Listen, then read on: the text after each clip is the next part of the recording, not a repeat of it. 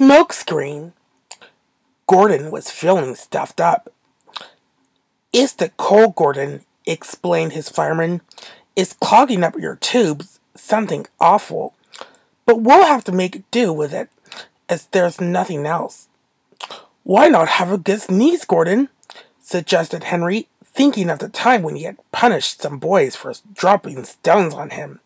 That will clear your tubes. Certainly not, replied Gordon with dignity. The fat controller wouldn't approve. He didn't like your sneeze, I seem to remember. Next day, Gordon was nervous as he backed onto the express. At least I shan't slip today, he thought, but I suppose they'll laugh at me again if I don't keep time. he needed, half worried. By the time he reached the junction, he was running nicely. And as he approached Edgeworth Station, Gordon's firemen began to make up the fire.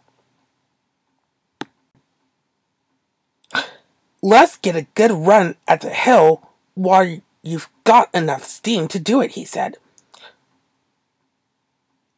I don't trust this low grade coal.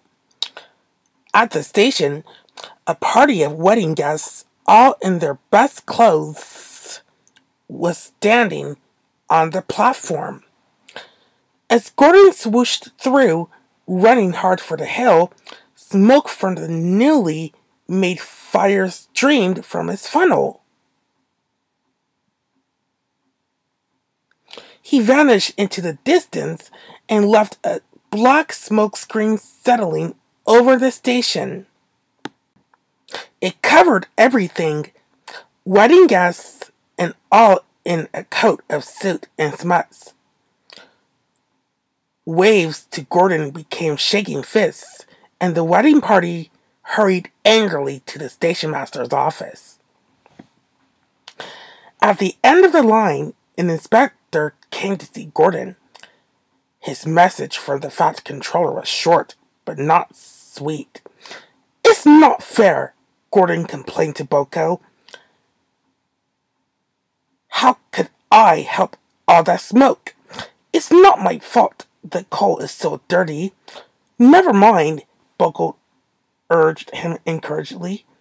Where would I be if I got upset every time someone called me smelly? Anyhow, suit's good for the garden, my driver says.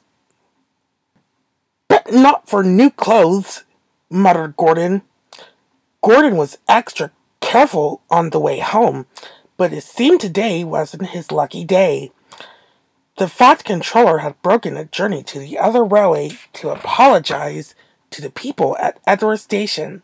He had done his best and was waiting for another train when Gordon came by.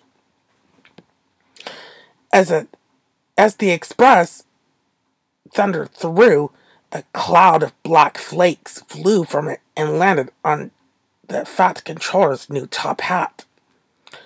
When Gordon reached the big station, there was another message waiting for him. The fat controller says, announced the inspector, that Gordon blew ashes on his top hat as he passed Edgeworth Station.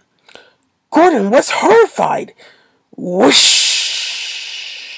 He exclaimed indignantly. I did not. I was being extra careful. I'm sure the fat controller can't be right, put in Gordon's fireman. I can't help it, said the inspector. That's what he says, so there it is. He will speak to Gordon when he gets home. Gordon went sadly back to the shed.